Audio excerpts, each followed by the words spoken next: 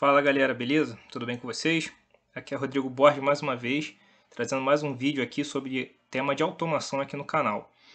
Galera, você que é da mais das antigas aí, né, já deve conhecer bem essa tela que eu estou mostrando aí para vocês, né? Essa tela azul aí do software Step 5 da Siemens. E aí, né, para quem não está muito habituado com ela, trabalhar com esse ambiente aí de DOS pode ser meio complicado e um grande desafio. E aí, né, essa semana eu estava dando uma olhada aqui no meu canal do YouTube e de repente eu recebi uma sugestão de um vídeo de um software que eu achei bem interessante, um software que eu já ouvia, eu já tinha ouvido falar sobre ele, porém eu não tinha ainda tido a oportunidade de testá-lo, tá? E é um software que vem justamente para poder é, tentar é, facilitar um pouco mais né, a vida de quem tem que lidar com esses CLPs da família Step 5, que é uma família bem antiga da Siemens, e que tem dificuldade de ficar trabalhando com, essa, com o software, né, o Step 5, que trabalha nesse ambiente aqui bem mais arcaico, onde você tem que ficar trabalhando com atalhos de, do teclado, é, inserindo é, contatos aqui ou, ou, instruções aqui nessa plataforma que é um pouco não é tão intuitiva, por exemplo, como o Step 7 que a, a galera mais nova está acostumada.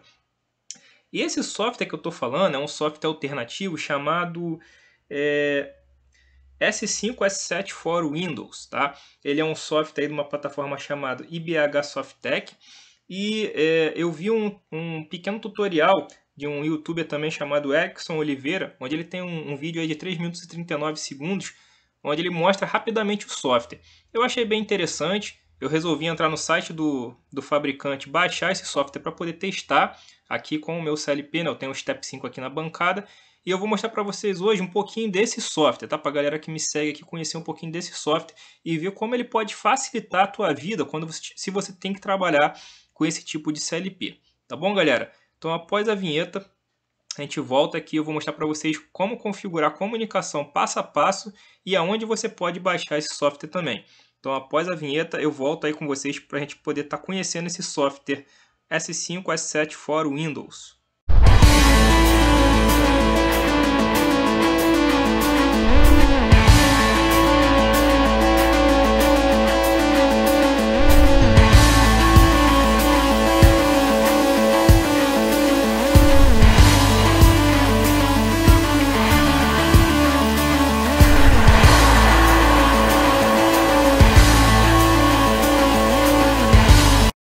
Estou de volta aqui, né? Vamos agora conhecer aqui o nosso software. Eu abri o site do fabricante aqui para mostrar para vocês aonde você vai conseguir esse software, tá?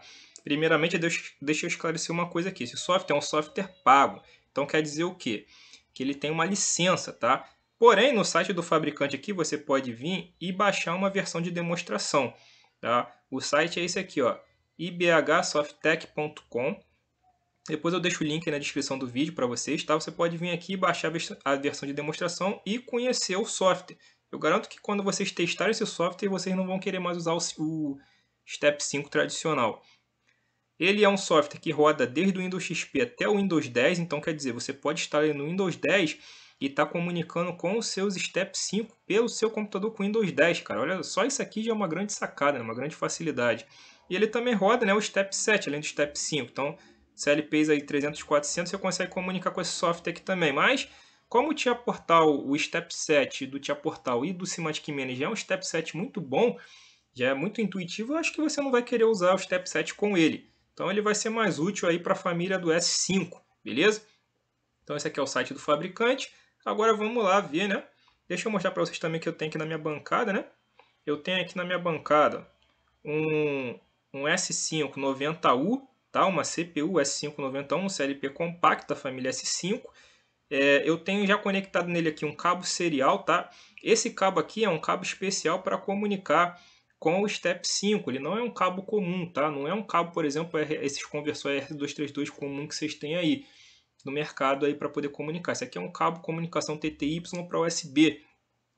É, esse cabo aqui eu comprei no Mercado Livre há uns anos atrás, ele é um cabo genérico, né? É, existem é, o cabo da Siemens original que você compra para poder fazer essa comunicação. Também tem um outro fabricante chamado Tecnatron, que é muito conhecido aí, né? A galera que tem Step 5 aí usa muito esse cabo Tecnatron, que é um cabo também paralelo aí, não é o original da Siemens, mas que é muito conhecido também. Mas eu estou usando esse aqui.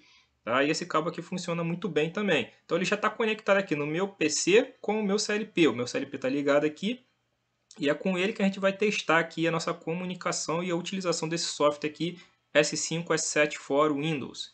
Eu vou utilizar para esse teste, apesar de eu, poder fazer isso direto no Windows 10, eu vou utilizar uma máquina virtual aqui. Tá? Eu não instalei esse software direto no meu, no meu computador, eu não gosto muito de instalar software direto no computador.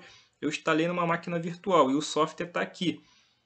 Só que antes de eu, de eu demonstrar, de eu abrir o software e mostrar para vocês ele funcionando, eu vou mostrar só uma configuração aqui que você precisa fazer na máquina virtual para que isso tudo funcione. Eu estou utilizando a VirtualBox. Quando você instala o cabo no seu computador, esse, uh, o, quando você conecta o cabo serial no seu computador, né, você precisa instalar o drive dele para o seu computador poder reconhecer né, é, as configurações. Então aqui eu vou abrir o gerenciador de dispositivo aqui do meu computador e vou mostrar para vocês que aqui na máquina base, não a máquina virtual, na máquina base, ele criou uma porta COM. Tá vendo? Porta COM, USB serial porta COM 7. Se eu abrir ela, eu tenho as configurações dela lá. É, essa questão do, do bit por segundo, a velocidade é importante. Eu deixei tudo no default, tá? Então guardem esse aqui. Eu tô na, o meu computador base está reconhecendo esse meu cabo de comunicação como a COM 7. Ok. Quando você for executar sua máquina virtual, antes de você executar ela, antes de você startar ela, vou pegar uma outra que está desligada aqui para demonstrar. Vocês vão vir aqui, ó, selecionar a máquina, vir em configurações, tá? Aí aqui, ó, você tem a configuração de portas seriais. Você vai selecionar a porta serial, aí na primeira aqui mesmo você vai habilitar a porta serial, tá? E aí qual é a configuração que você vai fazer? O número da porta você pode deixar um mesmo, que a máquina virtual vai reconhecer como porta 1. Mas aqui, ó, que é importante, ó, o modo da porta, ele vai vir assim para você, ó, desconectado. Tá? Isso aqui é default da máquina. Você vai pegar isso aqui, essa opção modo da porta e colocar aqui, ó, dispositivo no hospedeiro. Quando você fizer isso, ele vai abrir aqui a parte de baixo para tu colocar o caminho da porta. Esse caminho da porta é o número da porta com da sua máquina base que ele está lendo. No meu caso lá é a com 7. Então eu, eu coloquei aqui com 7. Tá? Eu tenho que fazer isso para quê? Para poder a minha máquina virtual estar lendo a mesma porta serial da minha máquina base. Eu poder ter a comunicação realmente física com o meu CLP, tá? Via essa comunicação serial. Então essa é uma configuração que você tem que fazer. Agora você tem que lembrar uma coisa, se você deixar essa configuração habilitada e você não tiver o cabo conectado na sua máquina, quando você tentar startar a máquina vai ficar dando erro, a máquina não vai iniciar. Então você só tem que deixar isso aqui habilitado na hora que você for comunicar com o seu Step 5. Tá? Se você não for comunicar com o Step 5, não precisa deixar isso aqui habilitado. Beleza? Então aqui ó, na máquina que eu estou executando, que é essa aqui de cima, eu já tenho essa configuração habilitada. Ó, porta serial, é aquele tá porque a máquina está rodando, não tem como alterar isso com a máquina rodando, tá? Mas está aqui, ó, tá habilitado e está comunicando com a COM7, tá vendo? Então lembra disso aqui, tá? Quando você estiver comunicando com o serial, é, para poder fazer essa configuração aqui e poder tudo funcionar. Então, beleza. Vou fechar aqui. Eu estou com a minha máquina virtual aqui aberta. Agora eu vou abrir o software. Quando você instalar ele, ele vai gerar um ícone desse aqui. S5, S7 for Windows, na sua área de trabalho. Você clica duas vezes em cima dele e ele vai abrir. Essa aqui é a interface dele, tá? Uma interface simples, mas bem mais amigável do que a interface do Step 5, né? O software que a gente utiliza lá no Step 5. Então aqui você tem uma área de trabalho, igual no Windows, você tem as pastas do seu computador e aqui tem mais outras áreas que a gente vai estar tá vendo. A primeira coisa que a gente vai fazer é criar um projeto em branco aqui para a gente poder puxar o projeto do CLP para cá, tá? para a gente poder ter o backup aqui do CLP, para a gente poder monitorar ele primeiramente. Então o que eu vou fazer? Primeiro eu vou vir aqui no meu computador, vou vir aqui na, na, pasta, na pasta Meu Documentos e vou criar uma pasta aqui que eu vou chamar de S5 Project. Você pode dar o nome que você quiser, tá? Vou criar uma pasta, essa pasta está em branco. Agora, dentro do meu programa aqui, dentro do meu S5, S7 for Windows, eu vou procurar essa pasta aqui. Ó. Eu vou vir aqui, bibliotecas, documentos, selecionar ela aqui, ó, S5 Project. Selecionei ela. Você vem aqui em File, New e cria um novo projeto Step 5, tá vendo? Step 5 Project. Vou selecionar. Ele vai abrir já na pasta que eu selecionei. E ele já vai sugerir para mim um nome de projeto aqui, ó. Project 01. Esse aqui é um nome padrão, mas você pode botar o nome que você quiser. A única coisa que você tem que lembrar no Step 5 é que ele só permite seis caracteres no nome e você não pode deixar espaço em branco. Tá? Você tem que botar os seis caracteres. Você pode botar underline, pode botar número, mas você tem que ter seis caracteres aqui, tá? Eu vou deixar o project 01 mesmo. E aqui é a extensão do arquivo, ponto .s5d. Isso aqui é a extensão dos projetos do Step 5, tá? Vou deixar do jeito que ele sugeriu aqui e vou dar um salvar. Ó, ele vai criar aqui para mim uma pasta de arqu... os arquivos na minha pasta.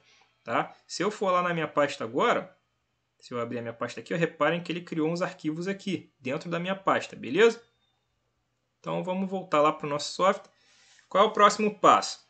Agora vocês reparem que essas áreas aqui, essa aqui ficou coloridinha, ficou amarelo também. Então aqui eu tenho alguns menus aqui, ó, PC Block List. Isso aqui quando eu tiver com o programa que eu vou ter meus blocos aqui, tá? Do offline, né? Eu tenho PLC Block List.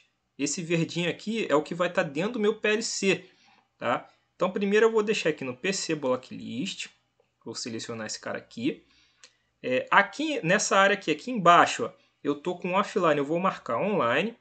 E aqui agora a gente vai estabelecer a comunicação com o meu PLC pela primeira vez aqui com o software, tá?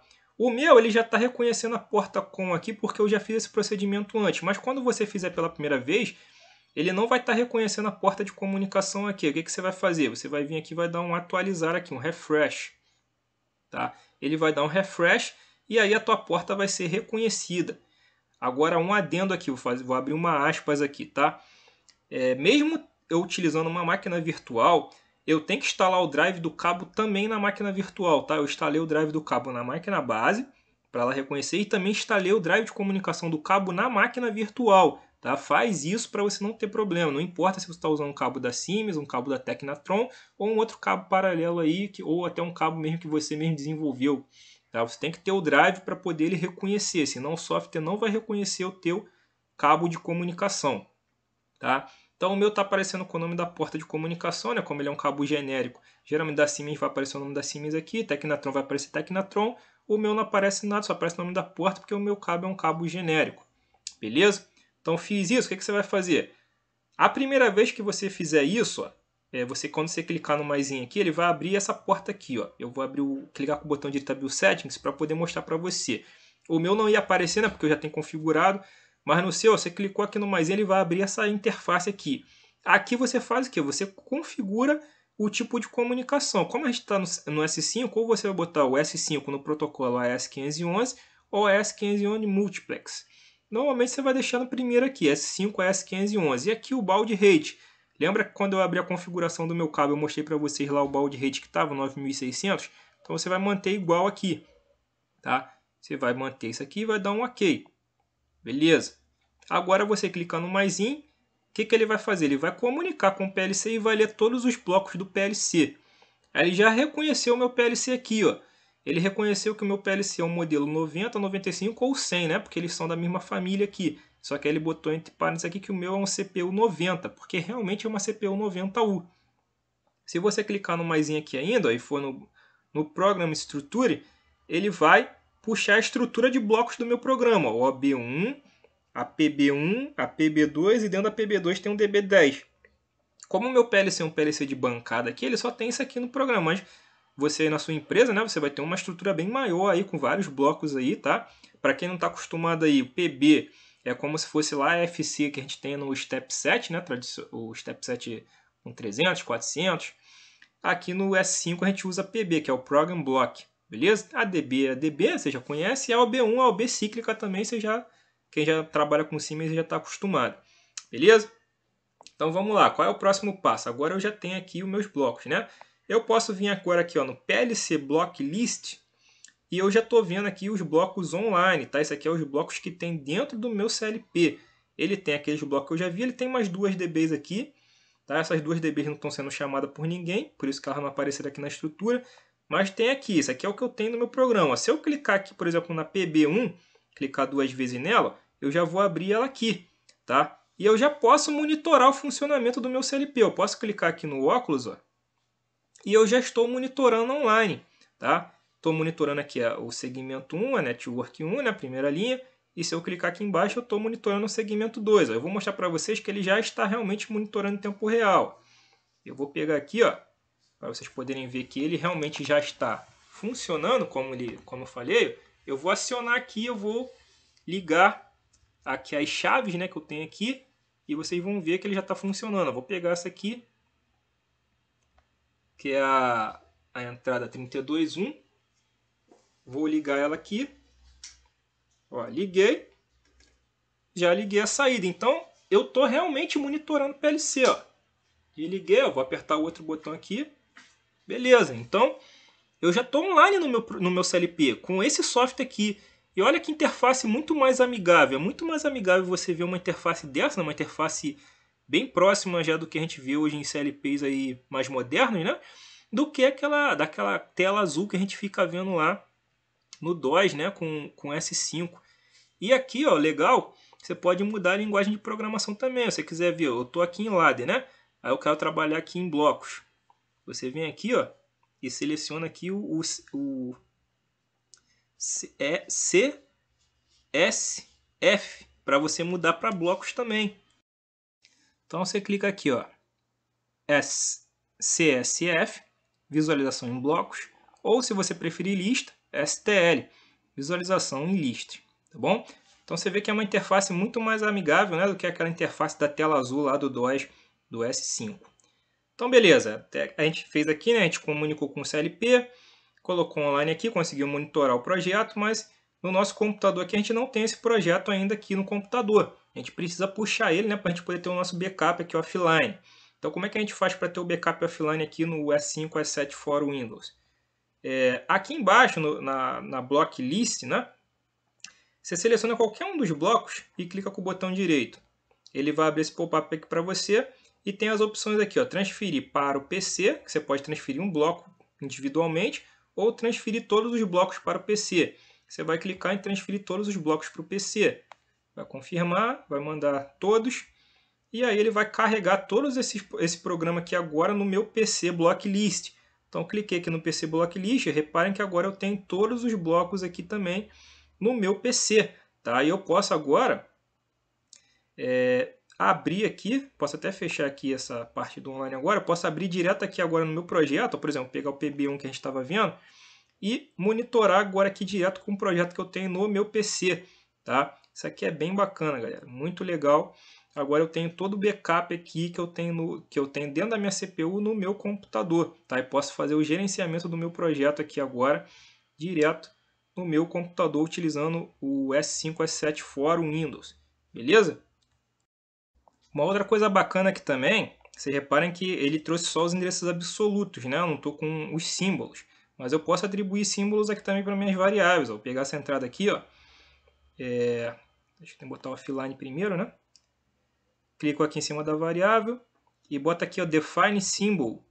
E aí eu posso dar um nome para ela. Vamos imaginar que esse aqui é um bt start. Vou dar um OK. E aí agora, quando eu passo o mouse aqui em cima, ele vai aparecer para mim, ó, BT Start. Vou pegar esse aqui e vou definir esse aqui também, ó. Define Symbol. Esse aqui é o BT Stop, por exemplo. Mesma coisa. E aqui eu vou botar... Esse aqui vai ser o contator 01. Então, ó, posso agora monitorar aqui e passar o mouse em cima, ele aparece para mim. Ó, tem o endereçamento absoluto, i32.3, e o simbólico, BT Start. E aqui é a mesma coisa, BT Stop, e aqui contator 01. E aqui tem um recurso, se a gente for aqui embaixo na, nas nossas abas aqui de baixo, você pode vir aqui na Symbolic Table. Você pode criar aqui uma tabela com símbolos, tá vendo? Eles já foram inseridos aqui, ó. BT Start, BT Stop e contator. Eu posso ver todos eu posso ver só os inputs, eu posso ver só os outputs, eu posso ver só as flags. Tá? Aqui no, no caso do S5 né, são flags, não são memórias. Então eu vou pegar, por exemplo, só as inputs. Eu posso botar o óculos, eu estou monitorando o estado delas. Tá bom? Então a minha i32.3 ela está ligada. Por quê? Porque ela está ligada no botão normal fechado. Vou botar aqui a câmera para vocês verem. A minha i32.3 ela é esse botão vermelho aqui. Eu vou apertar, ó. ó desligou lá né, na tabela de cima, mas ligou no programa, porque ela está com a lógica invertida aqui. Tá? Então, ó, a minha, quando eu solto, ela fecha, quando eu aperto, ela desliga. E a minha 320 é o outro, é o outro botão verde. Ó. Vou apertar lá, e ligou, beleza. Então, tá aqui tudo em tempo real funcionando, tá? Eu estou monitorando aqui em tempo real. E eu posso também estar tá fazendo, por exemplo, alterações aqui também em tempo real, tá? Eu posso não só monitorar o programa, eu posso, se eu quiser mudar o programa, isso aqui vai me permitir normalmente, tá? Essa interface aqui. Então, por exemplo, ó, eu vou pegar aqui, por exemplo, vou botar o offline aqui, eu vou é, inserir aqui um contato. Vamos, vamos botar uma nova entrada aqui, ó. Eu vou botar aqui o i32.4, por exemplo. Imagina que eu estou acrescentando mais uma entrada aqui, tá? É, eu vou descarregar isso aqui para o CLP, como é que eu descarrego? Eu tenho um botãozinho aqui, ó, Transfer to PLC. Então eu vou transferir para o PLC, dar um yes, fiz um download, tá, ó, Transfer Block PB1 Successful e vou botar online. Ó, deixa ele confirmar tudo aqui. Pronto. Agora ele vai transferir, ficou online. Tá aí, ó, minha alteração tá feita, ó. Ah, Rodrigo, tá feito mesmo? Tá, porque se não tivesse igual, ele não deixava nem eu ficar online. E você pode confirmar aqui, você pode vir no PLC Block List e abrir aqui o PB1, você vai ver lá, ó. Tá aqui, ó. Beleza? Então ele tá aqui para confirmar para você. Então, assim, você faz um, tanto o monitoramento quanto o, é, a questão da também da, da depuração, beleza? Faz aqui também alterações. É, e ele tem um recurso aqui bacana, vou fazer o seguinte, ó eu vou eu, esse cara que eu inseri, eu vou deletar ele. Ó. Vou deletar ele, tá? Cliquei aqui apertei del para poder deletar ele. Eu vou salvar o programa aqui. Isso aqui é importante fazer, tá? Vem File, Save As, salva como Step 5 Project. Ele vai salvar aqui, ó. Você salva em cima do arquivo que tinha criado antes, né? Vai ficar um arquivo só. Beleza? Quando você fizer isso, ele fecha tudo aqui é interessante que você venha novamente aqui, clicar no mais para ele poder comunicar de novo, tá? Então, beleza. Então, agora o que, que eu vou fazer? Ó? Eu vou inserir, é, eu, eu, eu tirei aqui o contato do offline, certo? Porém, no online, se eu abrir o online, eu ainda tenho aquele contato na CPU, então eu causei uma diferença aqui no projeto, tá? E vocês vão ver que se eu tentar botar online, deixa eu fechar aqui o verdinho, deixando só no amarelo, que é o offline. Se eu tentar botar online, o que, que vai acontecer? Ó? Ele vai acusar um erro. Ele está dizendo que o, o bloco contém entre diferenças entre o PLC e o PC. Tá? Então não é possível visualizar. Ele acusa para mim aqui. Como é que eu vou saber qual é essa diferença? Você pode vir aqui no bloco list olhar. Mas aqui é uma coisa simples que é o que Vamos supor que há muitas diferenças. Você pode fazer, utilizar o recurso de comparar blocos aqui também, tá? ferramenta muito legal. Você vem aqui onde tem a balança, clica nela, compare, Aí aqui ó, ele vai selecionar para você o que, que você pode comparar. Eu vou deixar tudo selecionado aqui, não vou mexer, vou dar um OK. E ele vai acusar para mim a diferença. No PB1 tem a diferença. Então ele já acusou aqui para mim. Ele vai me mostrar. Eu posso vir aqui ó, e ele vai dizer para mim exatamente onde é a diferença. Está vendo aqui a setinha vermelha apontando? Ele está dizendo que o offline eu não tenho esse contato e online eu tenho esse contato aqui. Aí basta você, como técnico de automação, avaliar lá o que é o correto. Ele deveria ou não existir esse contato aqui. Beleza? Então, aí você vai lá e faz a alteração. Se, for, se o correto for o projeto que está offline, então você faz download. Se não, se o que está certo é o online, outro faz um upload, ou então você vem e acrescenta lá o contato que está faltando. Tá?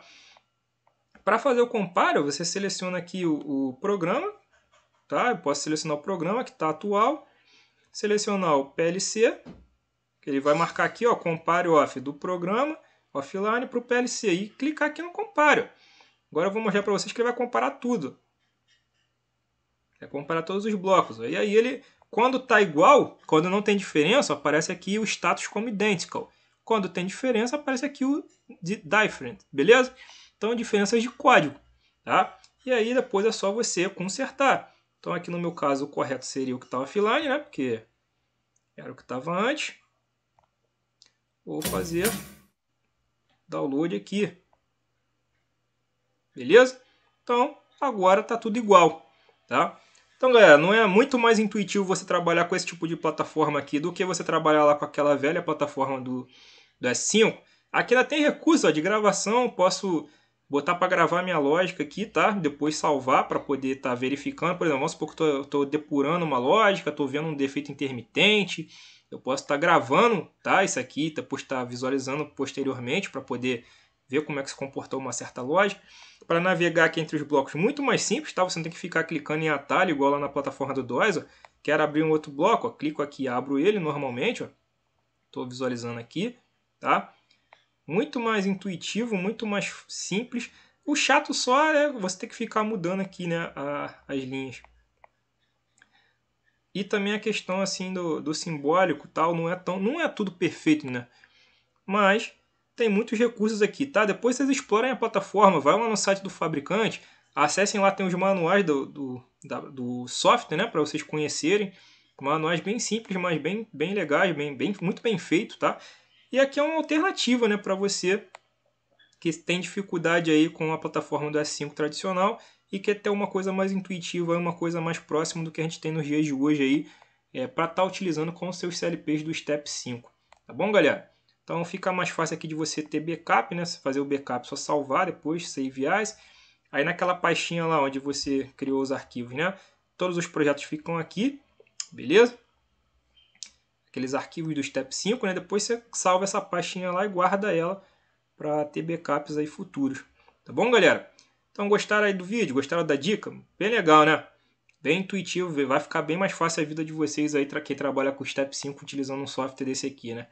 Então, galera, já peço aí para vocês, deixem seu like aí que vocês gostaram do vídeo, ajude aí compartilhando seus grupos de WhatsApp, com a galera aí que vocês conhecem que curte automação, né, que tá aí no chão de fábrica, que mexe com o Step 5 aí. E muito obrigado aí pela presença de vocês nesse vídeo, tá bom? Um grande abraço, espero revê-los aí em uma próxima aula. Até mais, galera. Fui!